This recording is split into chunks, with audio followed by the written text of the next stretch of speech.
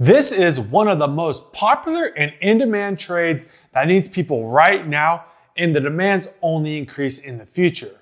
According to the Bureau of Labor Statistics, they project a 9% growth rate for HVAC jobs from 2025 to 2033, much faster than the average for all occupations.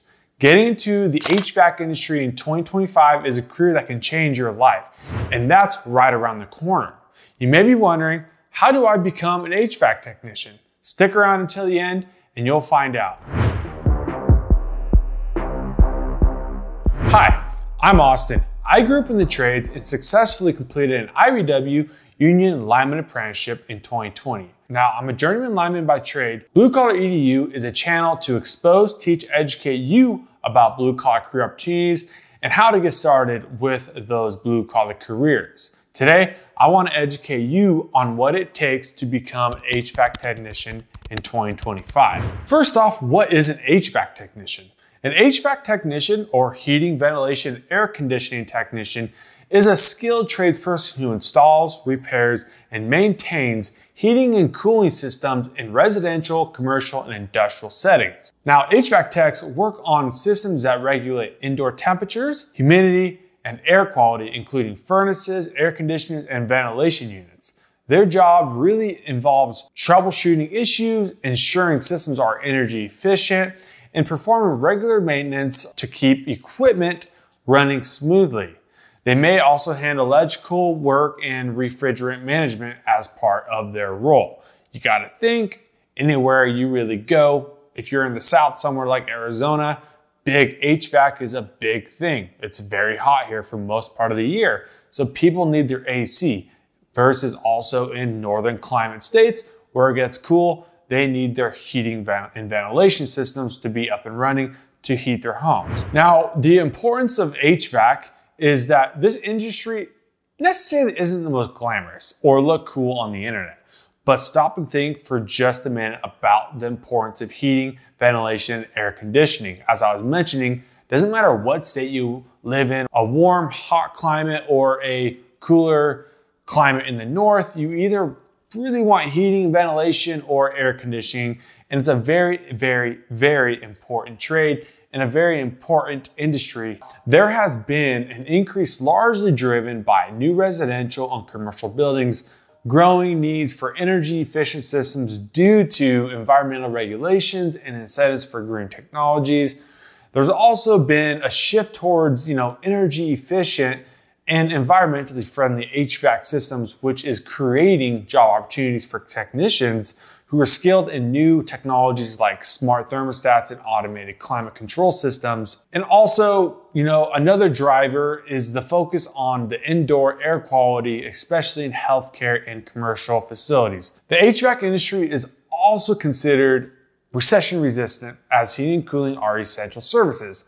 Maintenance, repair, and replacements are necessary even during economic downturns, ensuring steady demand for technicians. Overall, the job outlook for HVAC professionals is robust, making it a promising career with stability, opportunities for advancement, and room for specialization. Now, I've had the opportunity to talk with some folks who are owners or operators of HVAC companies, and they say their biggest issue in the industry right now isn't having the work. It's more so about getting and hiring qualified technicians and keeping and retaining those technicians. Now, that's where you can come in. However, that's an issue for both the company and the employee. If you're in a company looking for, you know, an advanced technician who's probably been in the trade for a while, he's going to come in, he's going to be doing something how he's been doing for the last 15, 20 years. But as a company, you want things done your way. So that's always kind of an issue. Well, you can always hire, you know, a unqualified technician and you can bring them up the way you want them brought up and bring them in. And so this is kind of where this is about where I want to talk about how you can kind of meet in the middle there, where you can have some technician experience, but also be green enough to where you're kind of a qualified employee open for hire. Now, with that being said, you can't necessarily become an HVAC tech on the internet. There are some logical solutions that will help you be more qualified get you more knowledgeable about the ins and outs of the HVAC industry, and get you better prepared for a career in the HVAC world. And your goal is probably to start working as an HVAC tech as fast as possible. If you're looking to get into the HVAC industry, I'm sure that's what you're looking to do. So you might be wondering, what are some of the requirements for becoming an HVAC technician? So when it comes down to it, there are really three requirements to getting started in the HVAC world. Formal education being one of them. So you're gonna need some sort of formal education to learn more about the HVAC systems, the tools of the trade, and understand their role completely. HVAC trade can be very specific and very technical between the working on electrical circuits and the refrigerants used and whether you're working residential, industrial, or commercial systems in the HVAC industry, there's a lot that goes into becoming an HVAC technician. That also kind of brings you into entry level certifications. Most HVAC companies require technicians to obtain the Section 608 certification. The Section 608 certification is part of the Clean Air Act, which is part of the primary occupational license for HVAC technicians in the United States. It basically requires that everyone who works with refrigerants, including maintaining, servicing, and repairing, or disposing of air conditioning or refrigeration equipment to be certified through this section. Now, this is a very, very, very major certification if you want to get into the HVAC industry. This is probably one of the biggest certifications, the EPA Section 608. So the 608 certification is a necessary certification if you're working with refrigerants. To get the certification, you need to pass an exam. Your formal training should prepare you for that exam. You can also obtain other certifications like the NATE certification. The NATE certification, or North American Technical Excellence certification, is a nationally recognized certification for technicians who work in the heating, ventilation, and air conditioning and refrigerant industry. The NATE certification demonstrates that technician has the knowledge and skills to perform HVAC maintenance, repair, and installation work. So between the NATE and the EPA certification, those are both great certifications that you can get online, take the exam, and that really helps you become a more of a qualified employee to an HVAC employer.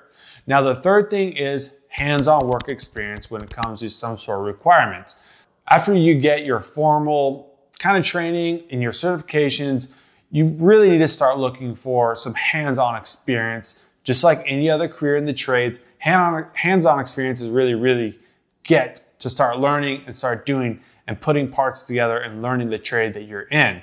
Now, you can start doing that by looking at externships, internships, or my favorite, what I personally tell people to do is look for apprenticeships in your area, in your city, either that through the union or just through local HVAC companies in your area. Moving on, now you're looking at, well, if I want to retain, maybe get some of these certifications like the EPA Section 608 or the NATE certifications, I want to learn more about becoming an HVAC technician, what the HVAC industry looks like, what these different systems look like, and be better prepared because there's a lot of reasons why people obviously go to technical colleges or community colleges and take these courses and these classes is to get a better understanding. So you don't just hop into a trade brand new without any experience. Getting into the HVAC career, having formal education is a pretty good foundation.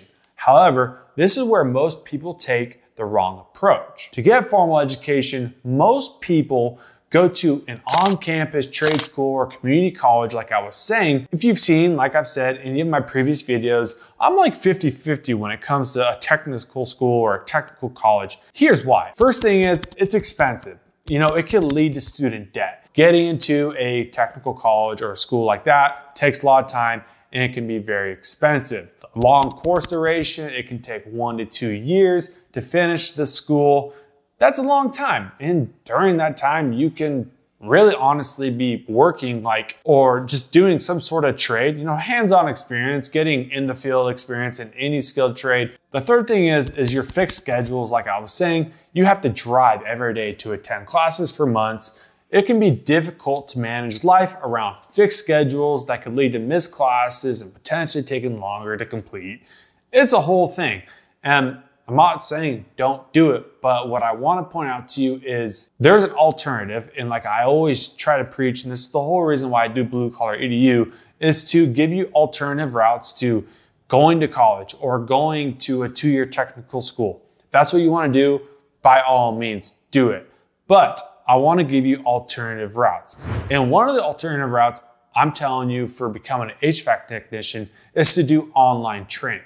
There's already a lot that you need of training and certifications for becoming a qualified or certified HVAC technician that requires a lot of online training and courses and things like that. When it comes to online training, it's typically faster. You can normally complete it in a few months. It's also a lot more affordable with most programs kind of ranging between five to 7,000 and it's more flexible than in-person training. This is a very common for the HVAC trade. Now there's a few things to look for in online training and these are things that I've noticed that you kind of want to search for. If you're going to look for an online training, a course sorts like that, you need to see, is it interactive? You want to learn with simulations, animations, and videos. You want to see what's inside the HVAC system, the different components, etc. Now, that's why immersive, interactive online training with 3D animations is better. The second thing is self-paced. You should have the freedom to learn at your own pace. You don't want to be tied down with the fixed schedules in live classes. Those sorts of things, they start taking up a whole lot of your time. Being able to work at your own pace and have your own schedule when it comes to online training is very important. When doing online training, it should prepare you for entry level certifications like I named above, the EPA and the NATE certifications. It shouldn't take years to complete. Any institution that preaches that they can give you a training, a certification in four to eight weeks probably lacks quality and won't get you ready for your career. You've been searching for online training. I have a recommendation. This is why I told you to stick around until the end. Now, let me introduce you guys to some online training that I came across that I think is of terrific value. This is Preppy's online HVAC technician certification program. Now, I personally have taken time, I've reached out to the owner of these programs and talked to him. I've looked over the curriculum, I've went into it. I have looked over the course because I'm not one just to preach and say, hey, go do this, go do that. As you guys know, I'm not all about going to technical college and spend the time and the money. But there are online training platforms, courses that can tremendously help you, especially in an industry like the HVAC industry. The cool thing about Preppy's online certification program is it's 100% online and self-paced. Now with this program, you can get your HVAC tech training anytime and anywhere. Once you enroll, you get instant access to all the training materials, which includes ebooks, video slides, interactive slides, simulations, and more. It also is fast and prepares you for your EPA and your NATE certifications like I was mentioning earlier, the important certifications for the HVAC industry. The program is self-paced, but you can complete the program in as little as four months. This is why I said stick around to the end because 2025 is a few months away. And if you want to get into the HVAC industry in 2025, then this is a fabulous place to start. More importantly, it gets you ready to crush the Section 608 certification by EPA, which is probably the top doc certification that you need to become a qualified HVAC technician. Getting certified as an HVAC tech, especially by EPA and NATE, can be preferred by employers, and with Preppy, you're ready to do that. Another cool thing about Preppy's online certification program for HVAC is it's a partnership with an accredited university. Preppy's program is in partnership with a 150 year nonprofit accredited university, Auburn University. Essentially, your training is through an accredited university. For the most part, university certificates typically carry a lot of respect and a lot of weight. And with Preppy, you get that without actually enrolling in the university itself. This could be huge for your resume, especially if you're just starting out. Now, one of the coolest things about this program is the externship opportunities. Now, these are included. Preppy also takes care of the hands-on experience part as an externship opportunity is also included with the program. When you finish your Preppy HVAC technician program online, you're eligible for a volunteer externship with a local HVAC company. This is where you can gain valuable hands-on training and experience in the field.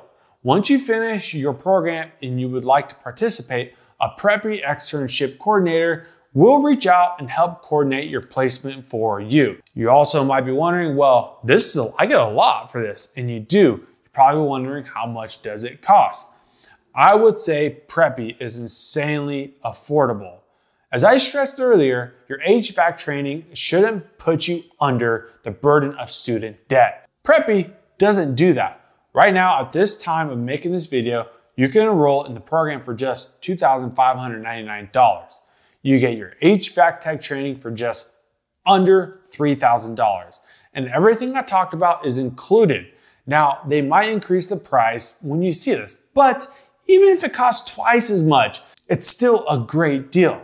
You can also enroll using payment plans if you can't afford the $2,599 right now. But right now, they also have a bonus going on where they ship you a free laptop when you enroll. I think this is, like I said, a fabulous, a great step in the right direction. Preppy gets my seal of approval for one of the best, one of the better HVAC certification programs on the internet right now. If you wanna get HVAC tech training online, or if you were looking for an HVAC tech school, then Preppy honestly is the, the place I would kind of shove you towards if you wanna do online training. You don't have to do online training, but I'm saying most people, they kind of want to get a better direction of where to go and, and things, learn more about something before they just dip, just dive full into the cold water. And I think Preppy's HVAC certification program will do that for you. If you want to enroll, click on the link in the description below the like button.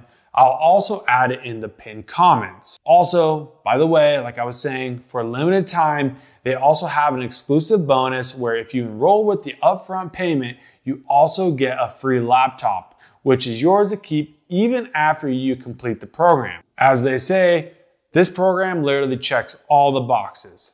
So if you want to become an HVAC technician in 2025 or even sooner than that, that is possible, you should get your training with Preppy's HVAC technician certification program.